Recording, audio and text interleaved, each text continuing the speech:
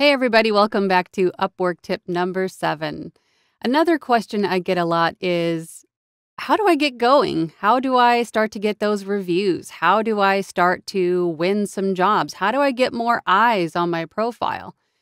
Well, Upwork's algorithm for showcasing your profile amongst others is, um, as I've said before, has a lot of factors it takes into account the completeness of your profile, how many um, um, samples of your work do you have up, how keyword rich your profile or your description of your in your profile is, the header or the title of your profiles. They all they all are taken into account into the algorithm, and Upwork does a pretty good job of kind of sharing the wealth.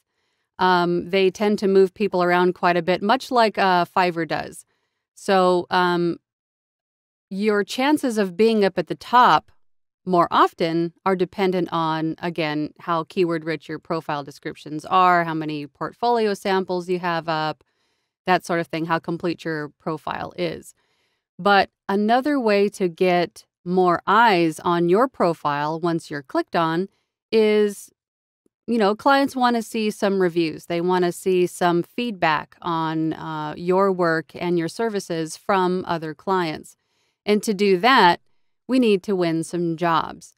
So, what I would recommend in this instance is start small.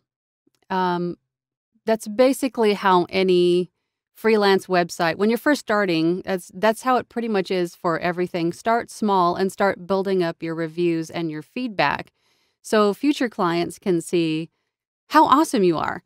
So, for instance, I would start out with a job like this one here on the screen. Completing a small job like this will more than likely get you that five star review that you need. And that's what I would do is just find these small little jobs that don't require a whole lot of connects to do.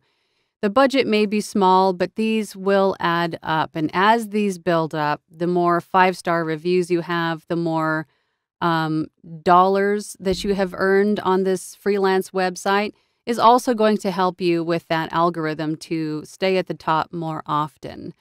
Um, once again, that's a that's a quick tip from me. Um, if you have any particular questions regarding Upwork or uh, really anything voiceover, I am here for you. Please send me an email with your question, or you can drop it down in the comment section below. I'll be more than happy to answer it for you.